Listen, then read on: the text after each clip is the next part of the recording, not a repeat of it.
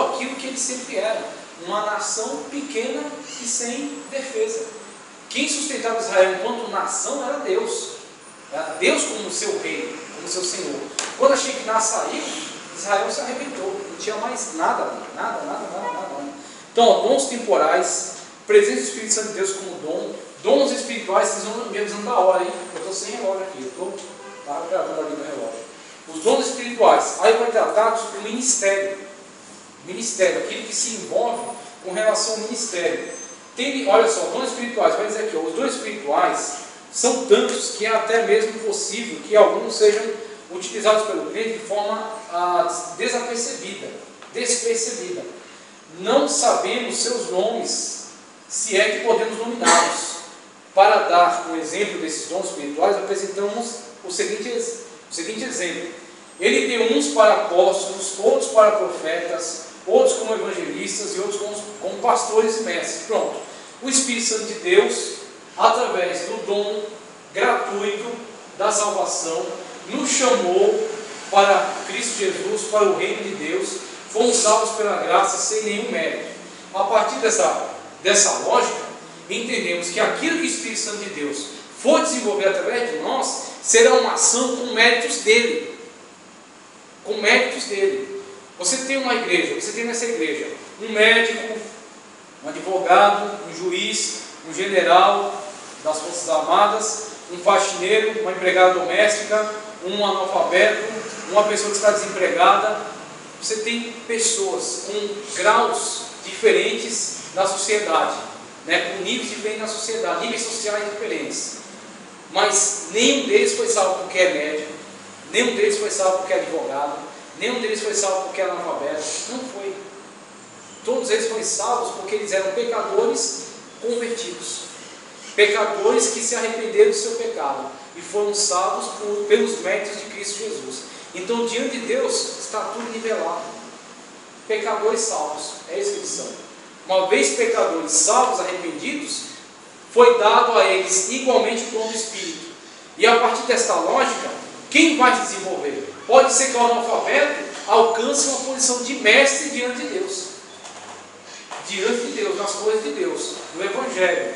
O ser analfabeto, ele precisa primeiro aprender a ler, ler a Bíblia e crescer diante de Deus. Tenha palavras de Deus, tenha palavras de sabedoria. O Espírito Santo de Deus o, o revele na Bíblia, né, através da leitura, do estudo, da aplicação, o revela a sabedoria de Deus. E o médico não. O médico muitas vezes Deus usa o médico separe ele, chame ele para ser um diabo. Qual o problema? Não foi médico, não está ali porque ele é médico. Ele está ali porque ele era pecador e foi salvo. Essa lógica não pode desaparecer na igreja.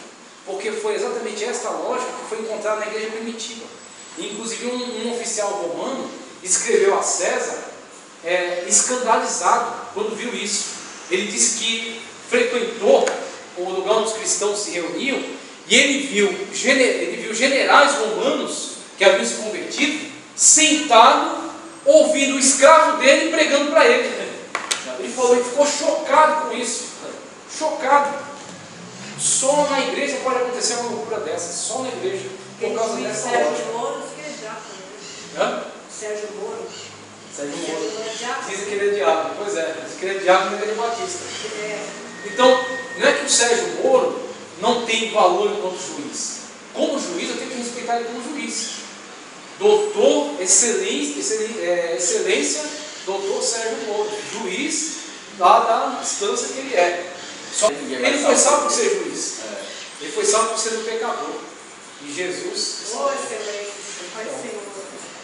Pode ser o irmão. Acabou. O irmão Sérgio Moro está aí. Ô irmão Sérgio, dá uma palavra aqui. Dá uma palavra aí. Pronto, acabou. O tribunal é outra coisa, né? Isso a gente precisa entender. No tribunal ele é um excelência, É. próximo ali. Ele conquistou isso. Agora aqui, ele não tem méritos. A gente precisa preservar isso a todo custo. A igreja, muitas das vezes, tem abandonado isso. Homens têm se deixado levar. Entra num assunto aí, eu vou entrar assim para dar uma pedra. É.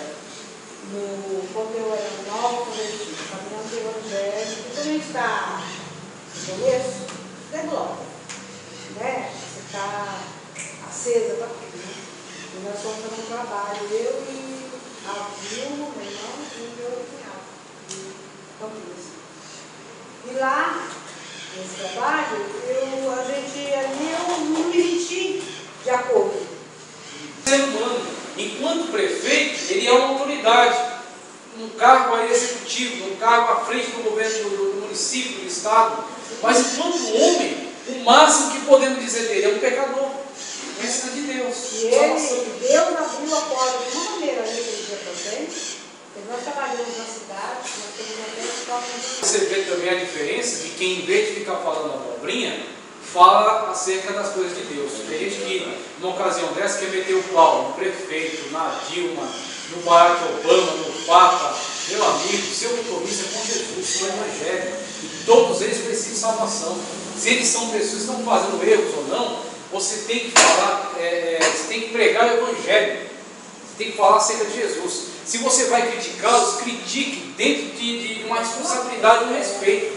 Você não é que você não pode criticar, não é que você não pode é, discutir acerca deles, mas dentro de um nível, de um respeito, respeitando ela enquanto uma governante, respeitando ele enquanto uma autoridade, e discutir o problema.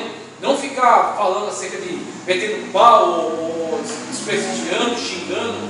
E essa não é a postura do cristão. Agora o cristão quando faz, deixa o Espírito Santo de Deus falar dentro dele, palavras de vida eterna, tem gente que fala palavra de bobagem. Né? Agora quando palavras de vida eterna, Você lembra, né? Por exemplo, você estava falando da obra do Espírito Santo também dos dons. Você falou até que eu achei interessante acerca do, do servo que estava pregando para o lá. Você vê, é Pedro, né? Ah, o pescador, lê as cartas desse homem, olha que inteligência aqui. O Espírito de Deus, ele tinha isso, ele fez. As pessoas falam, de onde que vem essa sabedoria, esse pescador? Os fariseus, os escribas, sabe lá o que é um escriba? Um escriba é um copista da lei. Pega o Antigo Testamento e vê se é fácil copiar. Copia aí, pega o caderno e começa a copiar. Copista era isso, ele, ele, ele não tinha impressora, meu irmão. Impressora era ele, e copiava. Nessa de copiar, ele tinha um conhecimento profundo. Os sacerdotes consultavam ele ah, nos debates, né? Era o material de trabalho dele. Então ele era uma pessoa consultada. O escriba sempre estava associado ou com um fariseu, que era um professor, ou com um sacerdote. Estava sempre associado a esse pessoal, assessorando eles. Então o que acontece? Um, um escriba, um fariseu diante de Pedro. De onde vem essa sabedoria? Ah, eles tiveram que reconhecer, tinha sabedoria ali. De, algum lugar. Tinha sabedoria e a pescaria não veio. Não fez negócio. E se a gente lê a Bíblia, a gente vê, né? Isso aí na Bíblia. Que palavras é essa que não viria de virtude humana, né? A carta dele. Aqui, pronto. Então o que acontece? Tratando agora acerca de vida eterna, tratando acerca do dom do Espírito Santo, acerca dessas coisas, a gente parte agora para manifestações. Então pronto, o dom, o dom que o cristão tem na vida dele, mais importante é o Espírito Santo. O Espírito Santo é o selo da eternidade. O cristão já vive a vida eterna em Cristo Jesus por causa do ser do Espírito Santo que está nele. Então, não adianta curas, é, é, do Espírito Santo, línguas estranhas, interpretação de línguas, discernimento do Espírito, coisas maravilhosas, maravilhosas, sim, mas o dom principal é o próprio Espírito Santo. Esse é o dom principal. Então, uma vez que aceita ser Jesus e é salvo, o dom ele já tem, que é o Espírito Santo na vida dele. Que vai andar com ele. O dom da vida eterna. Exatamente, o dom da vida eterna. Esse é o dom. Os demais são dons auxiliares para o ministério. E a gente vai começar a discutir isso aqui. Manifestações, manifestações espirituais. Ele vai tratar aqui, ó, principalmente desse trecho, ele está é, fazendo uma analogia com a igreja de Coríntio. Igreja de Corinto. Não é a igreja de Coríntios, não. A igreja de Corinto. Ele está fazendo uma analogia com a igreja de Corinto. Então o que ele está pegando aqui? a problemática das manifestações espirituais em Corinto. Então tem dois lados a questão. Qual lado? Um lado bom. Qual? Manifestação abundante de dons. Manifestação abundante de dons. Então a igreja de Corinto, ela foi agraciada com uma ampla manifestação de dons. Paulo mesmo fala acerca deles que tem todos os dons, todos os dons. Então as diversas manifestações do Espírito Santo estavam presentes ali. Qual o mal? O uso. Não basta ter o dom. Você tem que usá-lo para benefício da obra de Deus. Você tem que usá-lo para a edificação. Inclusive, é, eu acho que vai abordar isso mais para frente, mas é interessante nós falarmos. Não confunda duas coisas fundamentais dentro do relacionamento com o Espírito Santo. Manifestação dos frutos e manifestação de dons. O cristão pode ser que ele manifeste ou não algum dom excelente, extraordinário, dom de cura. Pode ser que ele manifeste ou não dom de cura. Pode ser que ele manifeste ou não dom de operar maravilhas. Pode ser que sim ou não.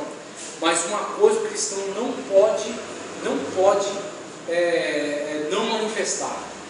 Não pode frutos. O cristão que não tem frutos do Espírito, ele incorre num risco muito grande. Por quê? Porque Jesus, no Evangelho, ele diz: naquele dia, naquele dia, se apresentarão para mim alguns que vão dizer, em teu nome, olha só, presta atenção na lista, em teu nome profetizamos, em teu nome expulsamos demônios, em teu nome, em teu nome curamos pessoas. E o que, que Jesus vai dizer para as pessoas? Apartai-vos de mim, eu não vos conheço. Apartai-vos de mim, malditos, porque não vos Conheço. conheço. Como é que eles operavam esses dons? Nem sempre. Isso que aqui, isso aqui é um dom. A gente viu, favor presente, suborno, tributo, gerais, conceito geral, coisa exclusiva, presente também, aqui também é presente, contribuição, divisão de um bem, de um dom com outra pessoa. Um dom. Hipoteticamente, eu sou Espírito Santo. Você está em comunhão comigo. Você é uma pessoa que aceitou Jesus e foi salvo. Eu vou lhe dar um dom, que é toma. Esse dom é seu. O dom é meu. Eu dei a você. É seu. Você está em comunhão comigo. Né? Você ouve a minha voz. Aí eu digo para você, você vai usar esse dom na igreja. Você vai realizar uma grande obra para mim na igreja. Você vai pregar o Evangelho. Você vai louvar espiritualmente. As pessoas vão sentir o meu toque. Você vai curar pessoas. Você vai expulsar demônios. É o dom que veio. Você está em comunhão comigo, você está ligado à videira, está produzindo. Quais são os frutos do Espírito? Aqui, ó, Gálatas. Deixa eu ver se eu acho aqui rapidinho. Ó, 5, 22, eu acho que sim. deixa eu ver aqui. Ó, que ler Bíblia é uma, é uma bênção, né? Olha só. Mas o fruto do Espírito é amor, olha só, hein?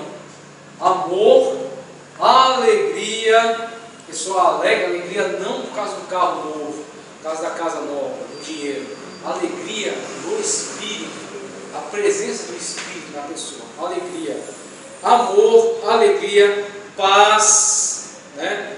Longa- longanimidade, ou seja, a pessoa que não se irrita rapidamente com as coisas, não abandona as coisas rapidamente, ele é longânimo, né?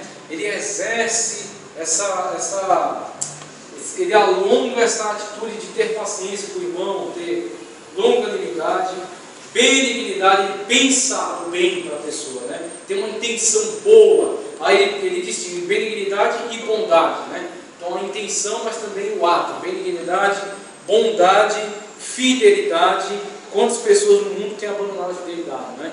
Se alguém oferecer algo melhor para ela, ela dá uma rasteira no outro, abandona o outro, sabe que o outro vai se arrebentar, mas ele deixa o outro lá e vai para o outro lado porque vai ser melhor para ela. Então não tem nenhuma fidelidade. Né? E aí tem, por exemplo, igrejas aí onde pessoas abandonam um ministério, não é fiel a ele, sendo que aquele ministério investiu tanto nela por causa do seu é, correndo atrás das coisas desse século, né, como Paulo fala. Fidelidade, mansidão, domínio próprio, contra essas coisas não há. Isso aqui está andando em conexão com aquilo que Paulo fala. Andeis conforme o Espírito, não cumpreis a vontade da carne. Então Paulo aqui fala, contra essas coisas não há lei. Quem desenvolve os dons, os frutos do Espírito Santo, não será julgado pela lei. A lei não vai encontrar erro nele. Ele está acima da lei, está andando conforme a lei do Espírito. Então o que acontece? São os frutos. Ninguém pode se eximir de produzir frutos. Todos, todos, todos têm que produzir frutos. Mesmo que não tenha um dom maravilhoso, dom específico, mas tem que produzir frutos. Você está em comunhão com o Espírito, você está produzindo frutos. E você recebeu um dom para ele realizar um determinado trabalho. Mas em algum momento você acha que este dom é tão maravilhoso que você não precisa mais ter aquela dedicação que você tinha para o Espírito Santo. Você não precisa ter a comunhão que você tinha com o Espírito Santo. Você não precisa ter o cuidado que você tinha. Você não ama mais como você amava. Você não é mais tão longânimo assim. Né? Você prega muito bem. Você tem uma boa oratória. O público vai ao delírio quando você prega. Mas ao mesmo tempo que você prega, você também dá coice, que nem uma bula. Né? Eu já pregadores aí que quando chega no lugar, bate tanto no, no controlador de som que eu falo, meu Deus do céu, é o único que não vai sentir a presença de Deus, porque apanhou tanto desse pregador, então eu não sei onde está a benignidade desse pregador, eu não sei onde é está a longanimidade, onde é está a mansidão. Ele é o pior lugar que tem ficar na igreja. Então, eu nem quero é, mais estar naquele lugar, não. Tem que ter muita humildade para ficar ali. Aí começa, você não tem mais amor, né? você não tem mais mansidão. Daqui a pouco, quando vai ver, você é uma vara desligada da videira, você não tem fruto nenhum mais do Espírito Santo. Mas você tem o dom. E pensa que aquele dom prende, né? Pensa que o dom é, é aprovação de conduta, né? Pensa que o dom é aprovação de conduta. Aí você termina com esse dom. Você canta aqui é uma beleza. Você canta assim, as pessoas vão ao delírio, as pessoas choram quando você canta. Mas sai com você fora da igreja para. Você é uma pessoa que misericórdia, pisa nos outros, humilha. Você chega na igreja, você não dá a paz do Senhor para ninguém. Você entra, você só dá a paz do Senhor para pessoas que é do seu interesse. Né? Pastor, mulher do pastor, dirigente, aí são dignos da sua paz. Mas os outros, você tem um dom, você tem tudo. Você tem comunhão com Deus? Tem. Então, dom, não se engane com dom. Dom, obrigado. Verdade. Dom é tá isso. cheio assim, né? E Deus pode até fazer os, a, as pessoas, presente, suborno. Pode até curar, né? Mas naquele grande dia, através do dom, porque o dom é de Deus. Jesus não falou para eles: olha, vocês fingiam que curavam, vocês fingiam que expulsavam o demônio, vocês fingiam. Não, Jesus falou para eles: não vos conheço. E ainda falou assim: apartai de mim, vós se praticais a iniquidade. A iniquidade. É. Estava com o meu dom, mas estava praticando Praticando a iniquidade. Então, muitas das vezes, eu, vou, eu falo aqui com sinceridade, sinceridade. Existem pessoas que estão na igreja, pregam maravilhosamente bem, ganham almas, e eles não têm nada de Deus com eles, e Deus mantém eles lá. Por quê? Porque eles são úteis. Eles são úteis. Deus mesmo, quando chegar naquele dia, ele não tem nada, tem compromisso nenhum com aquela pessoa. Mas ela é mantida lá. Aí eu dou para você o exemplo de Sinaqueribe. Sabe como é que Deus chama Sinaqueribe? Vara da minha ira. Sabe como é que chama, Deus chama Ciro? Meu servo. Nabucodonosor também. Nabucodonosor, meu servo. Era servo de Deus? No sentido de ter comunhão com Deus? Não era. Não tinha comunhão com Deus. Aí você via Marduk, né? Você via um Deus pagão, mas Deus chama de meu servo. Por quê? Porque aquele Deus, na verdade, nem existe. Aquilo é uma, aquilo é uma mentira. Existe um demônio por trás daquele ídolo. Ele serve esse demônio, ele nem sabe que nem é um Deus. Mas Deus, ele é dono de todas as coisas, todo o universo. Então Deus fala: vou usar esse camarada aqui, ele vai punir o povo de Israel, aí depois eu pego ele e jogo fora. E trago Israel de volta para a terra. É assim. Tem gente que vai ser usada por Deus dessa forma. Vai pregar, vai aparecer, vai acontecer, tem as iniquidades, tem os escândalos, mas quando chegar naquele dia, muitas pessoas que se salvaram através da pregação dele vão para a glória, porque estão servindo em espírito e verdade, e ele que estava enganando vai para o inferno. Não esquecendo nós da clássica parábola do joio do trigo. Né? A parábola do joio do trigo. Quiseram arrancar. Mas é o que, que ele falou? Não arranqueis para que arrancando venha também o trigo. A pessoa vai arrancar o joio e o trigo misturado. Você vai separar algum trigo você vai arrancar. E aquele trigo que você arranca, ele vale mais do que todo joio. Então Deus fala, deixa o joio aí. Para não arrancar um trigo, eu tolero o joio todo que está aí. É assim, é, é maravilhosa a vida de Deus. Quando você começa a entender. Eu testemunho, tinha um casal de, de irmãos, a irmã tinha um dom de profecia que era, era dom dele. Ela falava, falava e não tinha como Exatamente. Então, mas era atribulada, comprava, não pagava, não com Deus e recebeu esse dom. Aí ela tinha que se manter. ela não se manteve. Agora o dom continua. Agora pode ter um Só momento que, em que que também totalmente tinha uma, e ela não tinha utiliza uma virtude, né? Não era brigar, vocês brigavam, mas já tinha facilidade de se perdoar, sabe? É, às vezes é uma meninice humana, é uma coisa do defeito humano. Os homens são cheios de defeitos. Se Deus fosse usar, fosse deixar de usar alguém por causa de defeito, Uma pessoa perguntou para mim uma vez assim, muitos anos atrás. Eu falei, posso perguntar uma coisa? Eu falei, pode, se eu souber responder, eu responderei. Se eu não souber, eu vou pesquisar. Ela assim, Deus usa uma pessoa que está em pecado? Deus usa para falar com a gente? Uma pessoa em pecado? Eu disse, olha, irmão, vou responder o que eu acho. Deus usa. usa quem Sabe por quê? Por misericórdia de quem precisa ouvir. É, Exatamente. Não é por mérito Muito da bem. pessoa que está em pecado, porque ela toma é bem. dela. E não é mérito dela. de Quem precisa ouvir. É. Ela começou a chorar, chorar, chorar e falar obrigada, É. obrigada, obrigada. Porque Deus tinha usado uma pessoa para ela Sim. com algo profundo que ela precisava. Certo. E ela estava duvidando, Tava não tinha recebido. Tá né? certo. Ela veio, perguntou, respondeu essa coração, chorou, agradeceu, porque ela recebeu. Amém, tá certo. É por misericórdia dela. Deus usou aquela pessoa, não é que Deus tem comunhão com aquela pessoa. Deus usou aquela pessoa. Agora, bom é o seguinte: quando a pessoa que é usada por Deus também tem comunhão com Deus. Porque aí vai ser bem para ela, É. vai ser coroa para ela. Mas se ela perder a comunhão com Deus, pode ser que Deus use ela somente como um objeto. Por misericórdia quem Exatamente.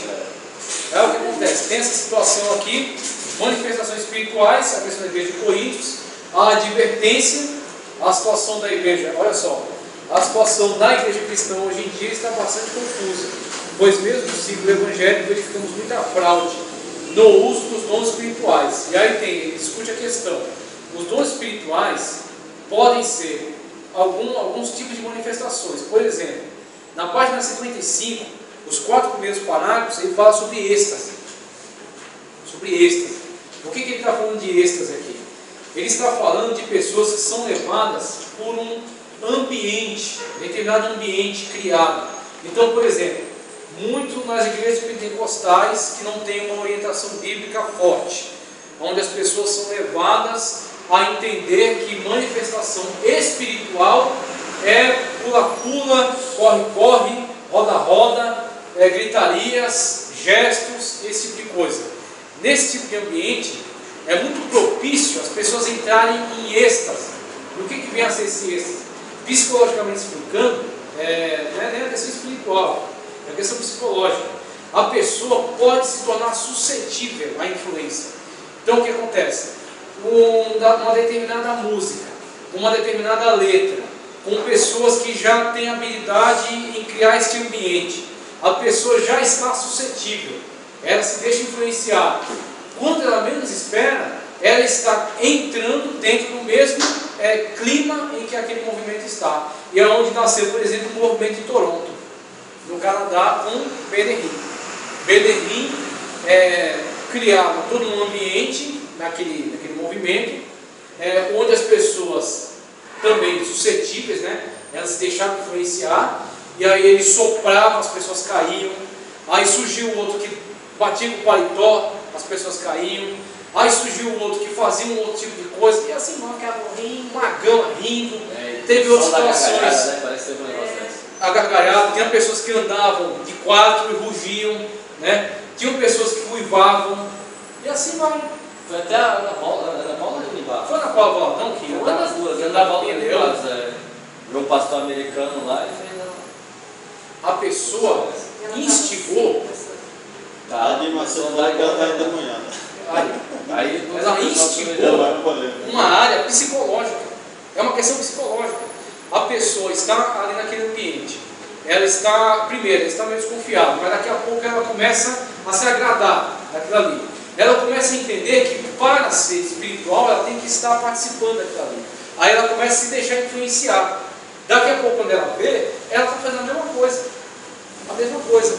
Não, vai num samba e vê se você não começa a batucar. Vai num velório, vê se não começa a chorar, de- depende, depende da comoção ali. É assim, o homem é um ser psicológico, emotivo. Então, dependendo do, ambiente criado, do clima criado, você obtém os resultados. Então, é, é, tem manifestações espirituais que não tem nada de eu, Espírito Santo. eu já ouvi muitas acusações também que esses homens aí usam muito a técnica de hipnose para Repetição, Tem. música. Vai numa igreja, eu vou falar aqui. regressão fazem. Exatamente, regressão. É aula de teologia, tem que discutir tudo. Vai numa igreja universal, em determinado culto, e vê como eles trabalham a psicologia ali. Vai no culto de descarrego. Eles trabalham, eu já fui em alguns, eles trabalham no ambiente. Quando chega na hora da sessão de descarrego, que uma coisa é expulsar demônios. Você pregando a, a palavra de Deus, muitas pessoas foram libertas na pregação. Pregou, porque Deus amou de tal maneira que Deus o Filho unigênito, para todo aquele que nele crê, não pereça, mas tenha vida eterna. Creu em Deus, pronto, foi liberto, não tem mais. Saiu influência demoníaca dele. Saiu. Aí tem pessoas que estão possessas de demônio. Aí vai ter uma manifestação. O demônio mais puleira, mais burro é o que manifesta. Manifesta. O mais esperto já, ó. Quando ele se manifesta, é o último estágio que ele queria fazer. Você É, vai fazendo já- um cunhado, de um cara, o cara teve um irmão. Esse irmão dele conheceu uma mulher na vida, e essa mulher, segundo fizeram um desafio para ele, que era mais velha que ele, né? Ele era um menino. E ele veio de pra cá e conseguiram que ele desmaiasse. É. tá? Tudo bem, vem embora. Aí minha sogra levou ele outra vez, só que ela não percebeu que ele tinha tomado umas. Sim, Aí chegou lá, foi fazer isso com ele. certo. Menino, ele saiu na porrada com Meu os nomes da igreja. Meu Deus. Ele falou assim, Que escândalo. você vai chamar o capaz. Jesus amado. O eles, não era crente, mas eles colocam uma música muito engraçado. pesada. Ele diz, eu, eu falo porque eu vi. Eles colocam uma música pesada, É. começa aquela invocação, demônio, Exu, não sei o quê, demônio, não sei o quê. Nomes e nomes e lista de nomes. O nome do demônio não é Exu e nem Pombagira. Isso é um apelido que ele deu para ele mesmo, para a honra dele. O nome dele é demônio, acabou. E não tem que ter conversa com ele, nem ter é, muito, muito tempo para ele, não. É expulsar e pronto. Tem que ter tempo para a palavra, para Deus, para Jesus, para louvor. É para isso que tem que ter tempo. Agora o pessoal dá um espaço para ele lá. Tem Então, tem esse mal. né? É, tem esse mal, tem esse mal. Esse, é um mal, infelizmente, É é manifestações espirituais. Aí o que acontece? Ele trata aqui, por exemplo, na página 55 ainda, a feiticeira de Endor, ainda falando de êxtase. A feiticeira de Endor, mencionada no capítulo 28, segundo livro de Samuel, profetizou para Saul, o rei ímpio, e se cumpriu o que ela falou. Aí o que acontece? É, todo aquele contexto que ela criou foi colaborado, foi colaborado com o estado espiritual de Saul. Saul estava desviado. Para começar, ele foi procurar uma feiticeira, uma necromante, que invoca espíritos. Né? Ele foi procurar necromante. No ato dele ir procurar necromante, ele já está completamente desviado. Ele não tem mais nada com Deus. No que ele está ali, naquela sessão, ele está entregue a, a ser influenciado por qualquer tipo de espírito maligno. Então o que acontece? Quando ela invoca, diz que ouve a voz de Saul e que sobe um espírito. Né? E aí o que acontece? Os olhos de Saul veem o que ele quer ver. Ele quer ver Samuel. Ele quer ouvir palavras de Samuel. E ele diz que aquele, ele pensa que aquele espírito é Samuel. É entendendo, entendendo ele que era Samuel. Entendendo ele. O que, que um ímpio desviado entende? Entende nada, meu amigo. Ele está vendo o demônio falando com ele, dizendo que é Samuel. E ele acha que é Samuel. Era Samuel? Não era. Não era Samuel. Mas ele entendia que era. E assim acontece com muitos movimentos. Aí na página 56 ele fala demonismo. Por que a gente tem que tratar disso aqui? E a gente tem que tomar cuidado. A gente vai falar dos dons espirituais. Se, gente- se não der tempo, isso aqui vai para o vídeo. Vou pôr por vídeo. Dons espirituais. Ele começa a falar demonismo. Porque em muitos movimentos desses é onde cumpre-se aquilo que a Escritura fala. Que o, o- demônio ele pode transformar-se em anjo de luz. E, se possível, enganar até os fiéis escolhidos. Então o que acontece? Dentro de um ambiente, o mundo espiritual é muito sério. É maravilhoso, mas é muito sério. Dentro de um ambiente que não está regido pela ordem. Por isso que Paulo não deixou passar. Quando Paulo viu na igreja de Coríntios que uns se levantaram a profetizar, outros se levantaram a profetizar, outros se levantaram a profetizar também, já temos três. Como é que nós vamos entender o que está sendo profetizado? Aí o outro emendou com uma língua estranha. Aí o outro começou a pregar no meio daquilo ali. Temos um falando língua estranha, três profetizando, um lá atrás fazendo gestos, sinais, rodando, o outro pregando aqui. Estamos entendendo o quê? Quem a gente vai prestar atenção? Exatamente. Diga para mim, se um demônio, se um demônio se manifestar aqui e começar a falar, quem vai saber? Ninguém. Porque está um caos, uma confusão. Na confusão reina exatamente esse tipo de ação. Ele diz que o inferno é uma profecia. Exatamente. É na confusão que reina esse tipo de situação. Então ele fala aqui de demonismo. Demonismo é exatamente essa situação em que uma igreja não se organiza em relação às suas manifestações espirituais e facilmente ela é vítima de uma ação demoníaca. Um demônio que se infiltra ali, como eu já vi, já vi líderes imprudentes que, é, presidindo ali o culto, deram oportunidade a uma pessoa que eles não conheciam, é aquilo que a gente falou na lição mais atrás, sentiu de Deus. Sentiu de Deus, meu. Esse negócio de sentir de Deus é um perigo. Você, a, a, emoção humana é a coisa mais enganosa que tem nesse, no universo. Jeremias fala que o homem, as emoções, os sentimentos humanos são, engana, são enganadores. Jesus fala que do coração humano procede males. Então, quando a pessoa fala sentiu de Deus, é, ela está correndo um grande risco. Ela tem que ser orientada pela palavra de Deus e pela revelação. Se Deus revela, não vai ter 1% de dúvida. Foi uma revelação. E você pode fazer prova, inclusive, para você ter certeza. Sentiu de Deus é algo íntimo seu. Algo que você pode sentir de Deus, é, de você mesmo, da carne, do pecado, ninguém sabe. O líder sentiu de Deus a oportunidade para uma pessoa que nunca tinha visto. Eu estava no culto, eu vi. Aquele homem pegou o microfone, eu nunca ouvi tanta barbaridade na minha vida. A forma como ele batia na igreja. Chamar, só, só não chamou a igreja de santa, mas o resto, ele arrebentou com a igreja. O culto foi completamente perdido. Foi na Madalena? Foi, foi na Vila Beatriz ainda, lá embaixo. Na Vila Beatriz. Isso na igreja aqui da, da, da, ele sentiu de Deus dar oportunidade para uma pessoa que ele nunca tinha visto. Não tem tudo bem, não tem tudo Sim. Você, para quem você consegue oportunidade de subir no púlpito daquele para instruir a do cordeiro? Então, uma pessoa que você conhece, tem testemunho, serve a Deus, está em comunhão, é coerente com a palavra, com a doutrina, não é herege. Aí você fala, amém. Então, que o Espírito de Deus use você. Pronto, vai você. Agora, você cedeu a oportunidade para uma pessoa que você nunca viu, porque você sentiu de Deus, para com isso. É nesse tipo de erro onde mora ah, o mal, onde cria-se um problema, uma heresia, onde uma pessoa morre espiritualmente e não é resgatada. Pode ser que pessoas estivessem naquele culto que nunca mais voltaram lá. E a gente não, não vai ter como saber.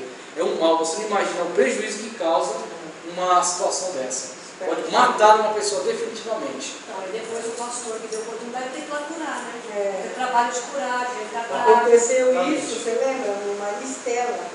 Aconteceu várias vezes. Ele está falando aqui manifestações espirituais. Qual é o propósito? Qual é o propósito? Dom gratuito, né? A gente foi salvo através disso. Dons divinos. Dentro do dom principal, que é a salvação, o carisma. O carisma é a manifestação do cálice, da graça. Então, por causa da graça, somos carismáticos nesse sentido, de manifestar o carisma. Então, toda a nossa atuação vem daqui, da graça misericordiosa de Deus e a atuação da graça em nós. E vai manifestar os dons. Ele dividiu em dons práticos e dons didáticos. Qual o objetivo disso aqui? Sempre, sempre, sempre o objetivo. A glória do reino, a glória do nome do Senhor. Glorificar o nome de Deus. Tudo isso aqui glorifica ao nome de Deus, através da salvação de almas, através da edificação de vidas, através da exortação, através da conversão, através da cura. Tudo isso aqui glorifica o nome do Senhor. Agora, isso que ele vai descrever aqui. Em que isso aqui glorifica a Deus? Gestos estranhos, página 56. Ele menciona um caso em que ele mesmo viu. O teólogo aqui está falando, dando testemunho. Ele mesmo viu isso aqui. Ele viu uma, uma determinada manifestação espiritual em que quando o pessoal gosta de dizer o fogo pegou, né? O fogo começou a pegar, a cair, uma mulher ficou em pé, ele descreve aqui, ficou em pé, ela fechou a mão, colocou uma mão para trás, fechou a outra, colocou na testa e começou a rodar e fazer sons grunhidos, barulhos estranhos. E ela rodava e fazia esses barulhos. Ele falou assim, exatamente do jeito que eu vi na Umbanda. Na Umbanda. Do mesmo jeito. Rodando, fazendo barulhos esquisitos, sem. Né? E com a mão, uma mão fechada para trás e para frente. Diga para mim, qual é a diferença? Quem foi edificado? Quem foi salvo? Quem foi alcançado pelo Evangelho? Ninguém. Aí você vê aqui, ó. Pulos, aviãozinhos, não precisa nem ler, 57. Pulos e aviãozinhos. Todo mundo tem experiência com isso aqui. Eu estou falando pentecostais. Então, todo mundo tem experiência com isso aqui. Se vocês forem contar, vocês vão contar 10 experiências aqui. Eu já tive também as minhas.